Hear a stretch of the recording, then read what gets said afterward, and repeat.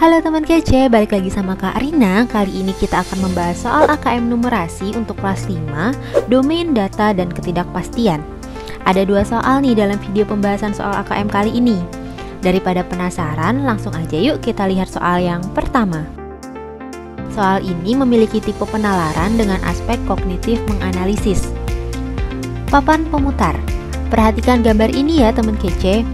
Gambar ini merupakan gambar sebuah papan pemutar Cara memainkannya adalah dengan memutar papan. Setelah papan berhenti, jarum akan menunjuk salah satu bagian. Setelah papan tersebut diputar, papan warna apa yang paling mungkin untuk ditunjuk oleh jarum pada saat berhenti?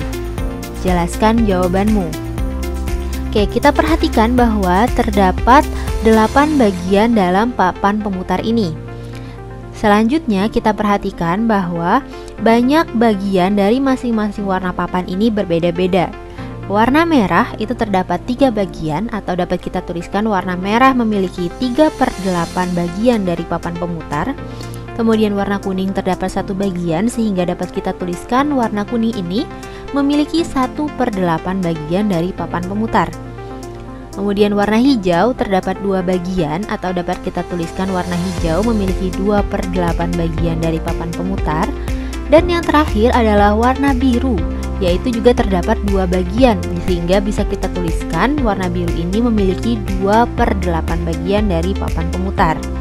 Nah, dari daftar yang sudah kita tulis ini terlihat bahwa papan merah itu memiliki bagian yang lebih besar jika dibandingkan dengan warna-warna lainnya. Artinya, warna merah ini memiliki peluang yang lebih besar untuk terpilih dibandingkan warna lainnya. Jadi, warna yang paling mungkin ditunjuk oleh jarum pada saat berhenti adalah warna merah ya teman kece. Lanjut ke soal yang kedua, masih terkait dengan papan pemutar. Soal ini juga merupakan tipe penalaran dengan aspek kognitif menganalisis. Salah seorang anak mencoba memutar dengan arah yang berbeda-beda, Tentukan warna papan yang paling mungkin ditunjuk jarum sesuai dengan arah papan yang diputar.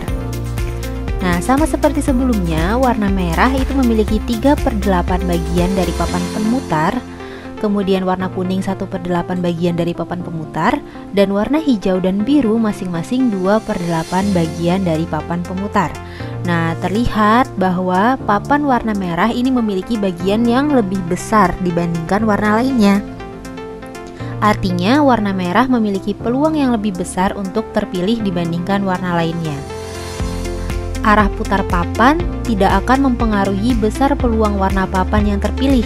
Jadi, baik diputar ke kanan ataupun ke kiri, warna papan yang paling mungkin adalah merah. Gimana nih teman kece? Mudah kan?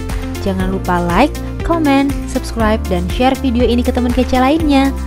Kalau teman kece mau latihan soal yang lebih banyak dan lebih bervariasi, langsung aja yuk daftar di website kejarcita.id atau langsung download aplikasi Kejar Cita di Play Store. Kejar Cita, kejar ilmu, raih cita.